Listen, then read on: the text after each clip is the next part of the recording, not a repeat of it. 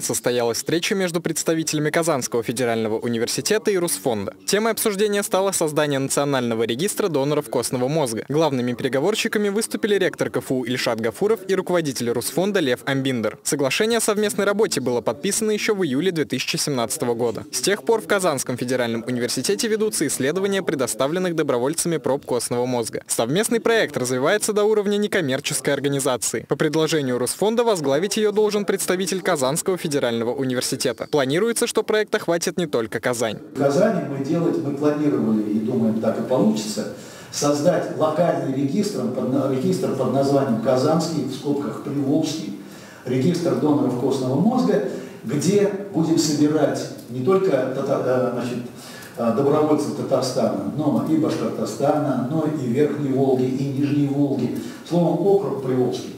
Мы берем весь и далее тоже. Татарстан может стать реальным центром по поиску и подбору доноров, а также по забору и пересадке трансплантационного материала. Для этого Русфонд ведет переговоры с ведущими медицинскими центрами республики. У нас все, что связано с биомедициной, это амбиция, так же, как для этой молодежи, амбиция возврата этого сегмента в лоно классического университета.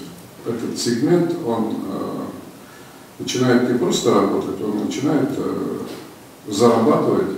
И задача поставлена в университете, чтобы мы на собственное содержание могли заработать самостоятельно через различные негосударственные проекты. Пока национальный регистр насчитывает более 79 тысяч потенциальных доноров костного мозга. Благодаря взаимодействию Русфонда и КФУ их количество будет расти. Артем Тупичкин, Леонардо Валетяров, Универ News.